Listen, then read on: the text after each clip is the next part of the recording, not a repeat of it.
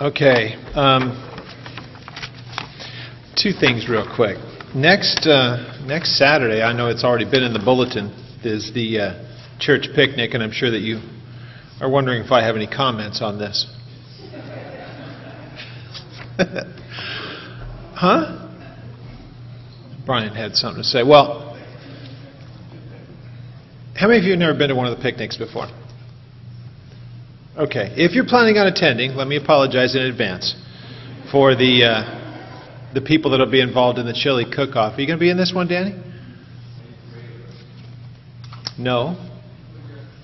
All right. It becomes. Oh, yeah. See, the the two people that make the biggest deal out of it aren't going to be in it, cowards. You called my. You called my my uh, barber a quitter for not shaving my head like yours. So I'll just call you guys what you are. You're not going to get into it. But it's probably better because, you know, we want to try to keep the whole Christian brotherly love kind of thing. And you guys really quench that when you start getting all nasty and competitive. But they have a chili cook-off, and there is prizes that are there are prizes that are handed out. Well, don't let that keep you from being there. It's uh, it's always a great time. All kidding aside, these are really cool. I, these have been going on as long as as we've been coming to the church. When we first started coming here, they were doing the uh, picnics, and it really is a good time for the people to be able to get together that that are part of this fellowship and uh, and interact. So we hope that you're able to make it there. And uh, so next Saturday over at the park, right across from Kennedy, and um, I think they're doing they're doing a pie thing, right? A, a, so if it's not chili, what happens if somebody decides to bring a chili pie? What's going to happen with that? Is that a possibility, Renee? What time should we get there? 10 to 3. Does it say that on here? 10 to 3. So anytime, you know, 10 around, around 10 o'clock would be great. And uh, actually, if you stick around long enough, you'll get a chance to see um, uh, Bob uh, be soaking wet because the kids will always focus on him. And uh, he gets destroyed with water balloons and all kinds of things. Kind of fun to watch. Actually, they, they don't get around me much anymore because I always, I always run for the hose. So if they're going to come towards me, they're going to get the business end of a hose, and usually that keeps me pretty much safe. And then I look for the people who hate to be uh, that hate to get wet, and I sit next to them. So all right, John chapter seven. Let's let's turn there. And there, you know, there is one other thing. I, I kind of debated whether I, I should uh, even bring it up, but uh, you may have noticed a, a, couple of signs. You may have even noticed around here. Uh, we have security cameras that are around here now, and you may wonder why that is. And um, mainly, it's because uh, it's the days in which we live, and we have children around here all the time. You're probably reading, you know, stories constantly of all kinds of things that happen and it is mainly a matter of security for not only the kids that are here during the week, because we have a school that operates here, but then we're here Wednesdays and Sundays with kids in children's ministry, and then this, this lets us know who comes and goes. And so they're all over the building. They're for the outside and the inside of it, just so that we keep an eye. We know what's happening around here. And uh, it just tells us a little bit more about the days in which we live. And honestly, there are people who are looking to, um, uh, you may read these too, but there are people that bring lawsuits against churches that are, that are frivolous. And if there's no way to prove that what they're saying happened didn't actually happen, then you're beholden to it. So it's as much for the protection of the kids and really is the ministry as well. So um, that's kind of why you'll notice there's little labels on windows around here, and you might look up and see cameras. It's uh, pretty sad that it's come to that, but we try to also safeguard ourselves and uh, and for the sake of the ministry too. So just thought I'd throw that in and let you kind of know what's happening around here in case you're wondering uh, why it, it just I, to me they're ugly, but necessary. Chapter 7, Gospel of John. We're going to, uh, to handle the first 13 verses this morning. And uh, what we're going to notice as we look through the text this morning, it's going to probably, if you're careful about it and you've been here for, for uh, all of the studies in this, this will now be the third time that Jesus has gone to Jerusalem, or will be going to Jerusalem. And the reason why he does it, very simply put, is uh, there are these main feasts that they're supposed to go to, and they're there are people who will be going, and just like all the other feasts, and yet his reasons for being there are completely different, which we'll take a look at. But once again, we have an interesting little detail that right after chapter 6 and the events, which we'll look at really quickly, it helps us to realize the incredibly deep division that there is between the believers and the unbelievers. We think of it in our terms today, you know, what it's like in our world. But back then, it was the exact same thing. And it's a little subtle, but still nonetheless very, very important. And it shows us kind of the progression, if you will, of what it was like in this the area of Galilee where Jesus was at that time. And even then, up close and personal, people were still so divided on who he was. So, uh, chapter 7, let's have a word of prayer. Father, we thank you once again for your faithfulness to us and for uh, giving us the ability to be here, to hear your word, to know that uh, the things that, that were uh, challenging people back then are still challenging people today. What do we make of this person, Jesus? And so we ask that you would help us by looking at your word and through your Holy Spirit, make your word known to us as we apply these things, as we understand them historically, but forward them 2,000 years to our times. And what do they mean today? And we see the same divisions. God, help us to grasp what your word means as we study it. We ask these things in Jesus' name. Amen. What we're going to notice in the last uh, two uh, uh, times of this, chapter 2, Jesus went up at Passover. And that was when he had turned over the, uh, the, the tables, and you have made the Lord's house from taking it from a house of prayer, you, prayer, rather, you've made it into a place of merchandise. And so he turned over the tables. By chapter 5, he comes back at one of the other feast days. And there is debate. Was he back there for the same one that he's coming to in chapter 7? Was it for Passover? Was it, was it for Pentecost? Which one was it of the major feasts? And it's unclear, but there are opinions. It doesn't matter. The fact that he was there is why it matters. He was at the pool of Bethesda and he healed the man who was there, if you remember that.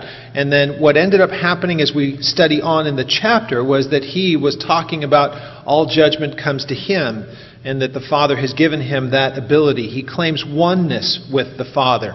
He talks about him not only being the Son of Man, but also the Son of God. And so what happens at the beginning of the chapter has incredible relevance towards the end of the chapter. So, why he went up to the feast is completely secondary because we know that as we read on in the chapter, what ends up coming of it is the big issue.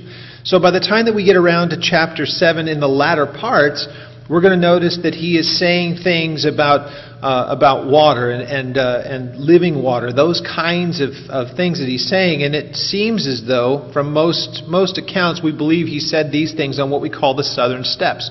And I'll put a picture of it up here when we get to those texts uh, because you can visit them. And in fact, we do when we're in Israel. We're, we're standing on the southern steps, more than likely where he makes his public address. But in the run up to it, what we have here in front of us, this text, we have the, the things that were happening in Galilee, up in the north, and why it was that he wasn't spending all of his time in Jerusalem. That time had not yet come. So, in, at the end of uh, last chapter, what we looked at last week. Look at verse 66 with me and notice that it says, Now from that time, many of his disciples went back and walked with him no more. So the ones that remained are going to be even spoken about here in our text today. And the one thing that we know from this is the, the people that would claim to believe in Jesus, when the time comes where they have to really come to grips with what it, is that they believe, some struggle with it. And as we see here, because of the things that Jesus had said, if people will take them at face value and not try to explain them away, but be serious about them, some people are going to come to a place of crisis. And these ones did here. Well, notice in verse 67 that Jesus said to the twelve, to his inner circle, Do you also want to believe? And it was Simon Peter who answered and said, Lord, to whom shall we go? You have the words of eternal life. Also, we have come to believe and to know that you are the Christ, the Son of the living God. And if ever there was a contrast between two groups of people, even those who profess to believe in him, forget about the unbelieving world, but even within the house of what we would consider faith, people that were his disciples, when they really came to grips with what he was saying and the requirements of it, some wanted nothing to do with it and ended up leaving. Others who said, There's no place for us to go aside from you. You've proven to us who you are, though we may not fully understand all things. We have no options here. Now, in an earthly sense, that, that is just, that seems so hopeless. As a believer, I say, if I don't understand all the bits and pieces, eventually I will, but I have nowhere else to go. And what the world sees as hopeless, For the believer, it's hopeful in that I may not understand all things, but I certainly understand the one who speaks. And he knows all things, and it'll all be revealed eventually, so I have no fear. I follow. Well, chapter 7 tells us after these things, verse 1. After these things. So it doesn't give us an amount of time, but it seems shortly thereafter. And let's read our whole text. After these things, Jesus walked in Galilee, for he did not want to walk in Judea because the Jews sought to kill him. There would be always constant animus there. So the time had not yet come. Now, the Feast of Tabernacles was at hand. His brothers therefore said to him, Depart from here and go into Judea and your disciples, that they also may see the works that you are doing. For no one does anything in secret while he himself seeks to be known openly. If you do these things, show yourself to the world. For even his brothers did not believe in him. And then Jesus said to them, My time is not yet come, but your time always is ready. The world cannot hate you, but it hates me because I testify of it that its works are evil. You go up to the feast. I am not yet going to this feast for my time has not yet come, not yet fully come. So when he had said these things to them, he remained in Galilee. But when his brothers had gone up, he also went up to the feast, not openly, but as it were in secret. And so the Jews sought him at the feast and said, Where is he? And there was much complaining among the people concerning him. Some said that he is good, others said no, to the contrary, he is a deceiver. However, no one spoke openly of him for fear of the Jews. So, what we have here are two separate things. There's what happens at Galilee, and there are the things that happen at Jerusalem. And so, as we consider these two things, one really does kind of help lead to the other. Now, there is controversy in this because, again, this is one of those contested passages that you may or may not know. Maybe even by reading it, you think, hey, wait a minute. Well, let's read through the first few verses. It tells us after these things, he uh, did not want to walk in Judea, and he knew that because it was the, the Jews that were seeking to kill him. But this was the Feast of Tabernacles. And so it was for them to go back, and the tabernacles was the reminder of how God had sustained them through the time of the wilderness. And so at this place, they would build for, them, for themselves what you would consider as booths. And it would be a reminder to them of how God had led them through the wilderness and sustained them for all of those years. And so every year, they would remember this. Well, it says that his brothers, therefore, said to him, Depart from here and go into Judea, that your disciples also may see the works that you are doing. For no one does anything in secret, while he himself seeks to be known openly. And if you do these things, show yourself to the world. Well, this shows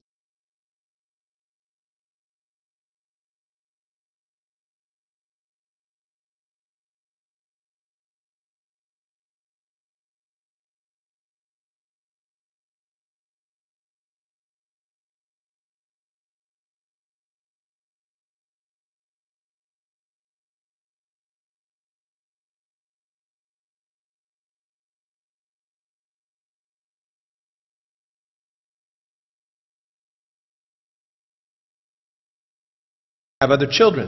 And what they'll usually say is whenever you read brothers in the, in the text, it means brothers in the spiritual sense, believers, fellow believers. Well, right here, you see a, a big distinction here. Because right, right here in verse uh, 11, it says, His brothers therefore said to him, Depart from here and go to Judea, that your disciples may see. So his disciples are clearly defined separately from these people that are referred to as brothers. But as you read on a little bit further, look at it says in verse 5 For even his brothers did not believe in him.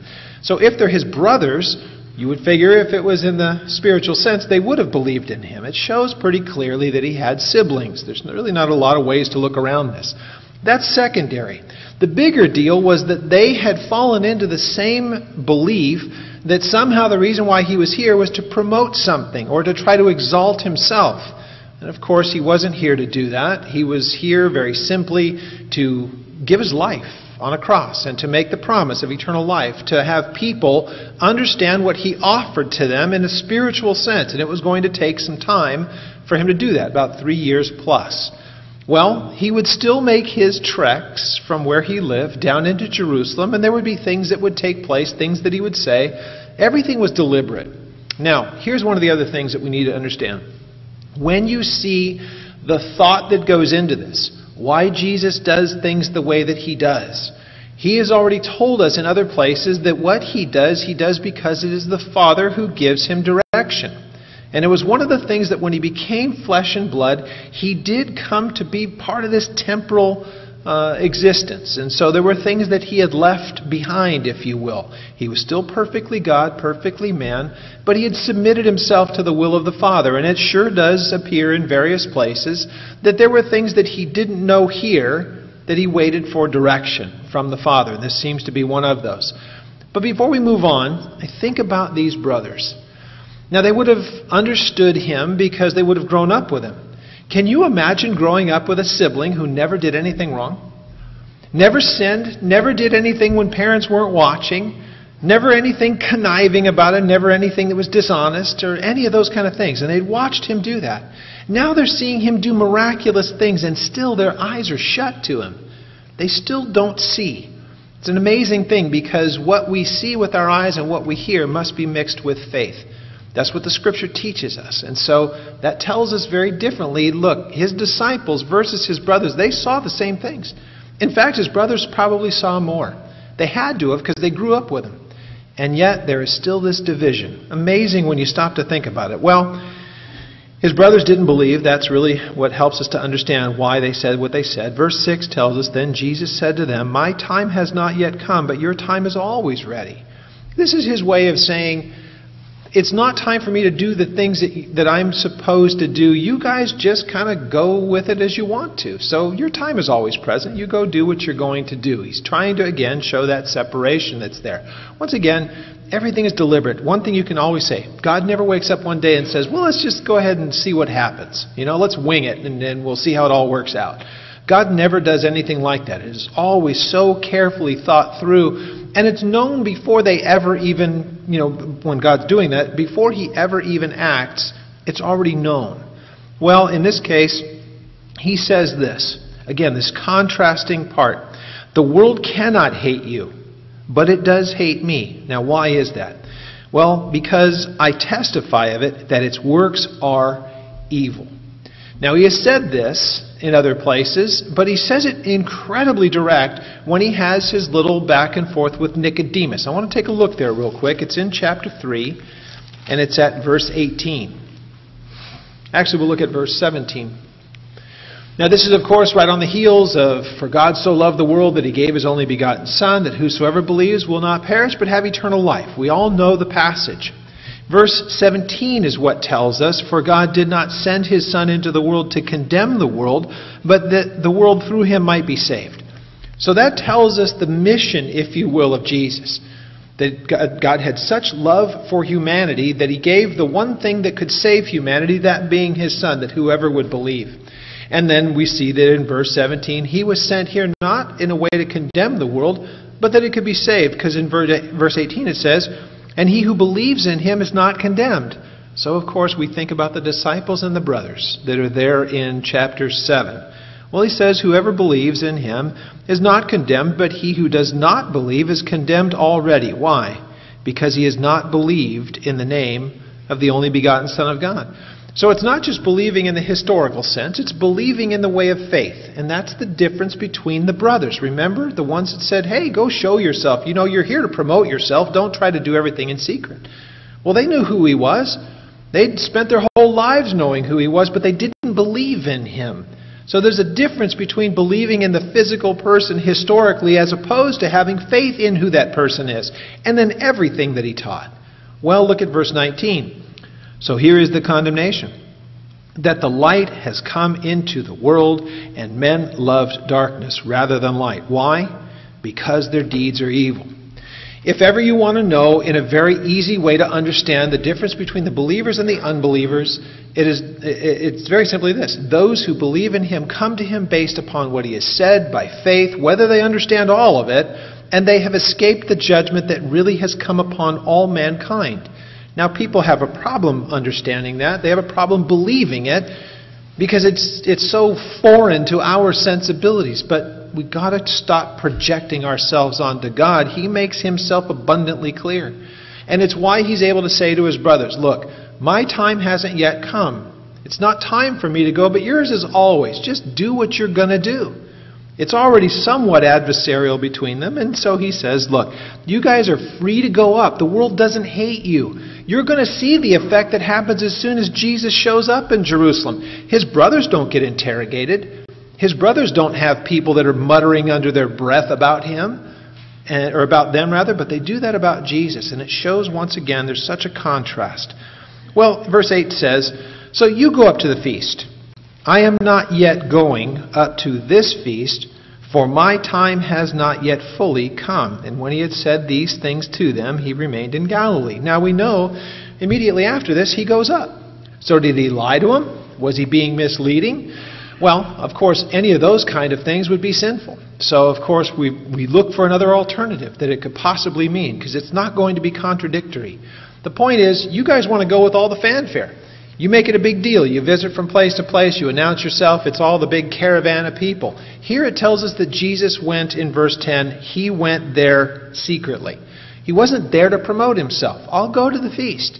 We all know, if, if we know anything about the text, whether we've read through it or not, I think just from what John has told us, when Jesus gets around Jerusalem around a large group of people, he uses it as an opportunity to say something to them. So he may have gone there secretly, but everything is going to be revealed when he gets there. And it's a repeating pattern. We see it at the feast in chapter 2, the feast in chapter 5. It happened in those occasions where he made himself known to the people that were there. So his brothers go up. They go up in the normal way, and there's all the fanfare and the, the noise and all the stuff, and they go up, and it's a very public thing. Here he does what he does secretly. Look again, verse 10. But when his brothers had gone up, then he also went up to the feast, not openly, but as it were in secret. Now, once he gets to Jerusalem, it is the same thing that happens consistently when he gets there. Verse 11 says, Now the Jews sought him at the feast and said, Where is he? We see the brothers, maybe. We, maybe recognize some of those guys, but we certainly know that all of those people from the various places, we know that they're here. We assume that Jesus is as well, and they start to look for him. Well, why? Well, we know why. They're always looking for a way to trip him up. They know the things that he has done the last couple of times that he was there, and he's a troublemaker, right? Picture's probably up in the post office. Wait, when you see him come from Galilee, everybody be looking. Here he comes. And so they're waiting for the problems to come. Well, it says this in verse 12. And there was much complaining. That word could be debate. People are just wondering. They're kind of speaking under their breath. Now they're not doing it in a public way. It's not on, you know, it's not on some talk show and there's the two sides discussing the whole thing. It's actually kind of quiet. Look at what it says. There were much there was much complaining much debate among the people.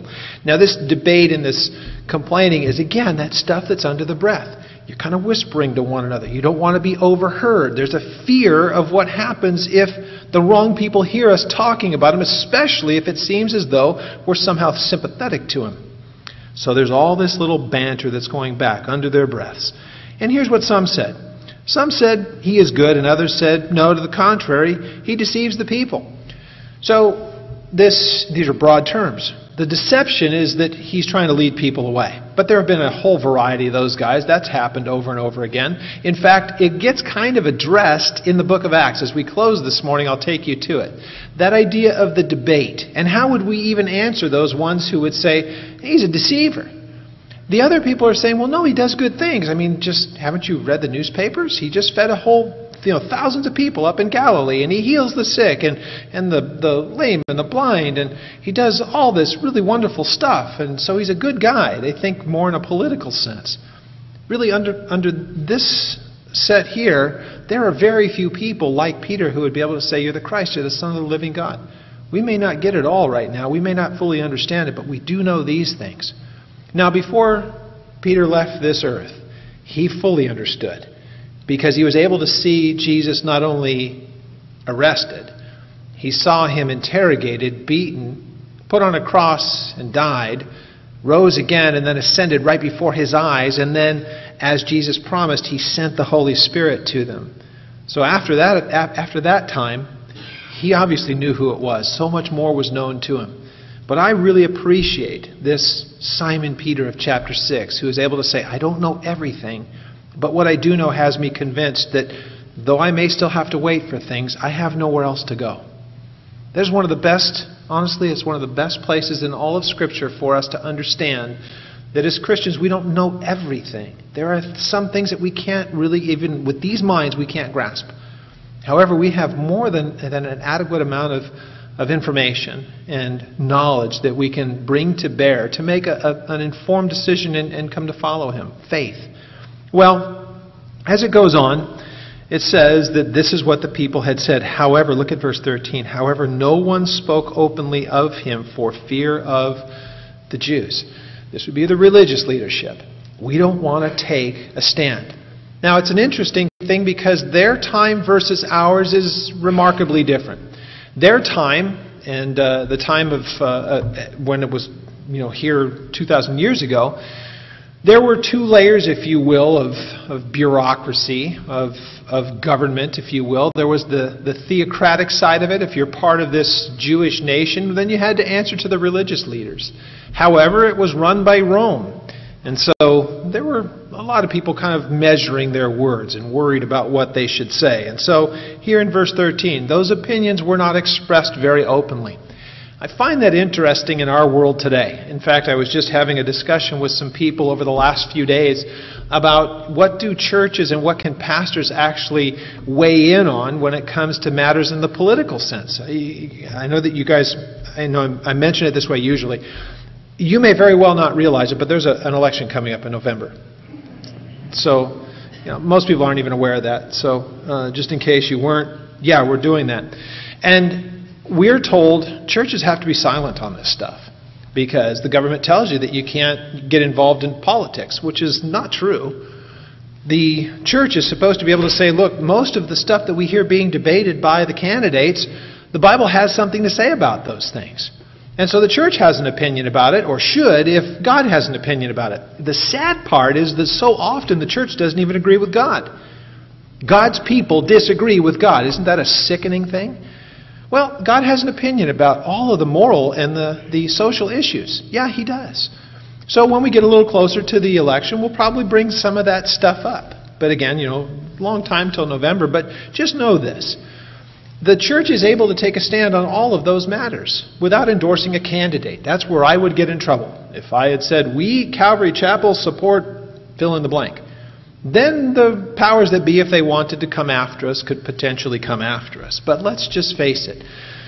There is a fear that is instilled by man. It was happening to them, it is happening to us today. Even the people who want to speak openly about Jesus, you can talk about him until it becomes confrontational. The idea that the church can embrace so many things that are antithetical to the Bible, it's been going on from the very beginning. So the idea is that the church should always find itself in agreement with the Lord and with His Word. Simple. However, like it is here, people had opinions, didn't want to express them outwardly because there was a fear of man. I'm telling you that we, as a church, should be able to say, if this is the Lord's opinion on something based upon His Word and we know it, then we shouldn't be ashamed to say it. We should be willing to go ahead and say what needs to be said. These people here had come to a place where they may have had their opinions, but they backed away from it. And there is also the matter of faith that we see in the first part of this chapter, where all the people have the same exact information and reach vastly different conclusions. Once again, this is where a church should be vocal about such things. So when Jesus becomes the topic, how do we discuss him? How is it that we present him to the world? Do we try to make him the one who doesn't really have a lot of opinions, especially if it may offend the world? Or do we say, wait a minute, he's so far above all such things, we take him at face value in the words that he says, and we live accordingly. We don't live in rebellion. Well, there's a good way of looking at this from that same guy, the Apostle Peter. Right? We just read about him in chapter 6, and we know what he had to say. Where else are we going to go? Look at chapter 5 of the book of Acts with me. Let's turn there. Acts chapter 5.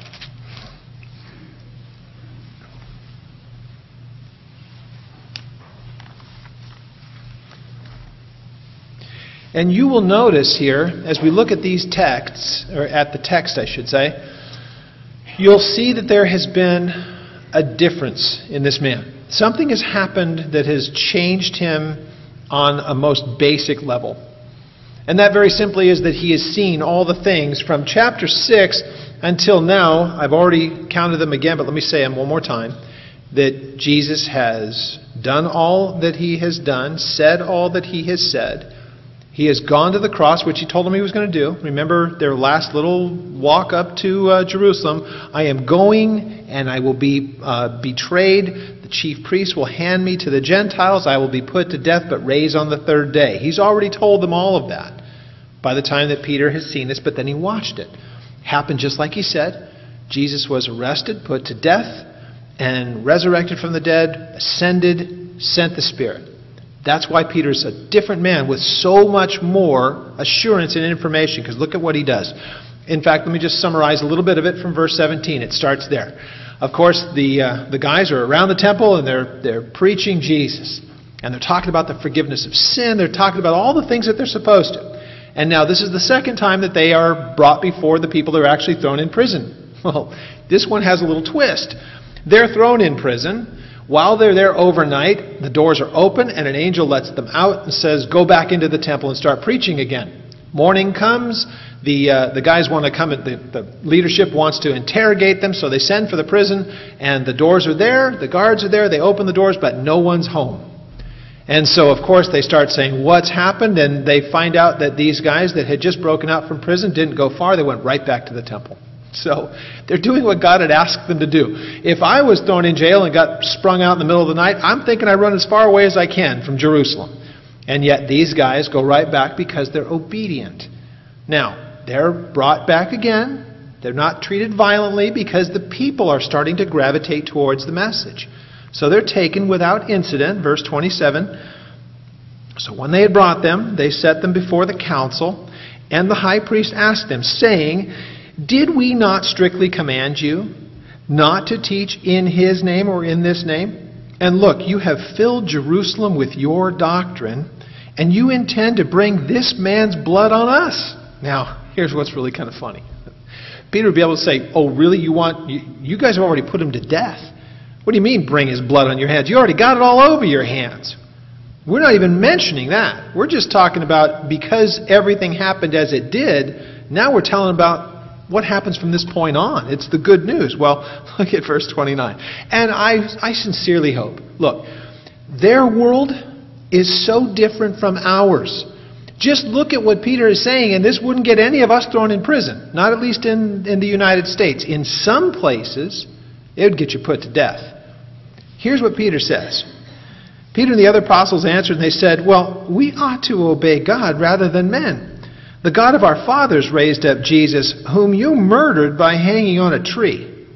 For God has exalted him to his right hand to be the prince and the Savior, and to give repentance to Israel and forgiveness of sin. And we are his witnesses to these things, and so also is the Holy Spirit, whom God has given to those who obey him. What a difference, huh? A little bit of information changes the message immensely. Let's as we've read that, let's go back one more time, back to John chapter 7, and let's use that as a contrast. Think about everything that Peter just said. You guys are telling us to do one thing. How can we disobey God? The one that you're worried about about being blamed for him being put to death, you're already to blame for that, and everyone knows it. And oh, by the way, let's deal with what we know of him. The one that you put to death has resurrected from the dead, and there's forgiveness of sin. There is all that, that that God gives. They've made up their mind. They know what it is that they believe. Now, there are the unbelievers, the interrogators, the ones who are put off by what they're saying. But look at the transition from what we see in John chapter 7. Peter has the things that he says in chapter 6. It leads to it after these things that there were the, the departing of many of the disciples. And there were still some that were left, and I believe somewhat purified by this time, because let's face it, persecution and, and the idea of, if you will, the, the weak ones leaving because they don't really believe, what remains is pure. Those people are the ones who are following him wherever he leads, no matter what it is that he says. And then they await the time that God reveals all things to him. But then there are the people who know him, they know about him, they think that they know him, but they're the unbelievers. And here, then, again, as we look at the, the last verses, by the time that he gets to Jerusalem, there is still the division that's there. There are the people who have their opinions. Nobody wants to speak openly because of fear of what may happen. But look at the difference that you see in Acts chapter 5. When you're convinced there is nothing that you have to fear that you say, because the world can only do so much, the one that you look to for the approval, if you will, of what it is that we say and whether or not it's pleasing is God Himself. We can only testify of that which we know. Now, back to Acts chapter 5 very quickly, and we'll, we'll conclude here. It's what he says, or it's what is said there afterward. Because remember, there were those who had that view that he is this, or others that said he is that. And so all this differing of opinion. Verse 33 tells us now, when they heard this, they were furious and they plotted to kill them. Isn't that hilarious? If you don't like the message, kill the messenger. Well, here that's what they're trying to do. Then one in the council stood up, a Pharisee named Gamaliel, a teacher of the law, held in, and respected by the people, and commanded them to put the apostles outside for a little while. And then he said to them, Men of Israel, take heed to yourselves what you intend to do regarding these men. For some time ago, Theudas rose up, claiming to be somebody, and a number of men, about 400, joined him. He was slain, and all, of, that who, all who obeyed him were scattered, and they came to nothing. After this, Judas of Galilee rose up in those days of the census, drew away many people after himself, and also perished, and all those who obeyed were dispersed. And now I say to you, keep away from these men, let them alone. For if, the, um, if it is a plan of men, this work uh, will be of men, it will come to nothing. But if it is of God, you cannot overthrow it, lest you be found to fight against God. What an amazing statement. So, isn't this cool? We're 2,000 years after the fact to put that very question to the test. If he's just like those other guys, we don't know who Theudas is and we don't know who Judas is. Other than that little mention right there, that's all we know about those guys. History doesn't speak of them at all. But look at how many people are gathered just in this room because of the name of Jesus of Nazareth. God the Son. Amazing. So as we consider these things, look, people have their opinions. It's fine. Opinions are opinions, whatever. What you come to as your conclusion about who he is matters in an eternal sense. So, for all who are hearing what I'm saying this morning, just consider that. The things that he says, they lead to eternal life. They're shown to be true in that we are still talking about them and he's still changing lives 2,000 years after the fact. If you're here this morning and you may know about him in the historical sense, just realize that's not enough. That doesn't help at all because his brothers knew who he was, didn't understand anything about him. They thought he was just there to be some political leader who was, who was trying to show himself. That is not what the Scripture teaches. And we're not here because we follow some political leader. Who we follow is a prince and a king. And we await his kingdom when all the stuff of this temporary life is finally put down once and for all. That's what we await. Not waiting for his kingdom in the earthly sense. We're waiting for his kingdom in the eternal sense. Let's stand.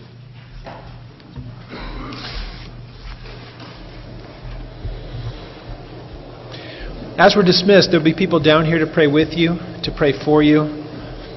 The days are getting weirder as we progress on.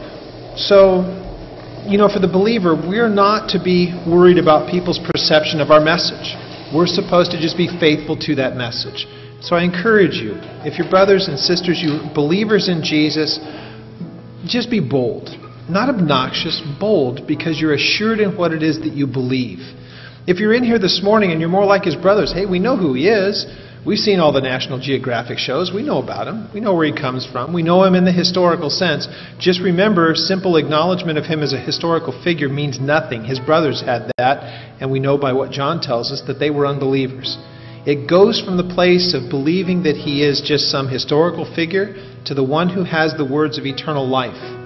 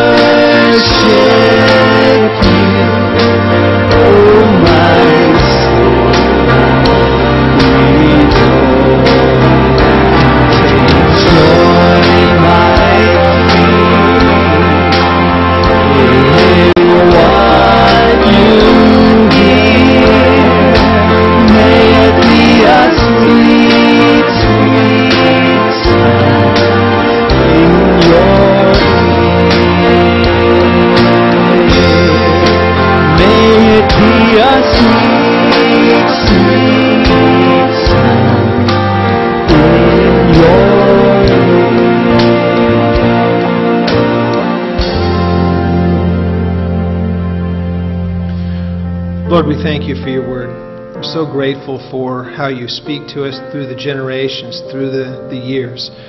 And what was said back then that had such relevance to them has so much relevance to us. In fact, in a world that's looking for relevance, we can look at a book that has accounts from thousands of years back, and they mean as much to us today as they did, as they did then. We would ask, Lord, that you would help us to take what we hear and see and mix it with faith, as your word says.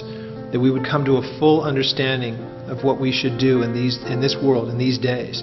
God, that we would be those who are willing to speak truth and uh, not be concerned about people's opinion, just yours. So we thank you. We give you praise. We give you honor and all glory.